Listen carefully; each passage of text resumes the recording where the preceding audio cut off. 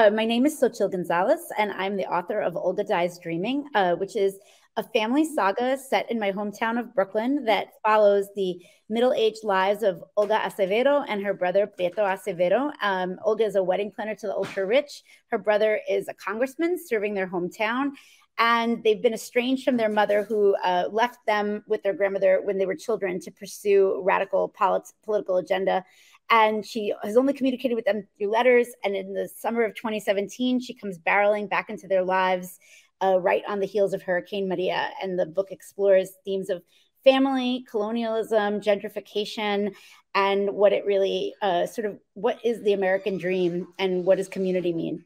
I really wanted to just sort of put a stamp in the ground about the Brooklyn that I knew, the New Nuyorican culture that I loved and was a part of that nurtured me as a kid, and that was part of my kind of way of conceiving myself. And I wanted to just mark that. And this felt like a way to write a love letter to all those things.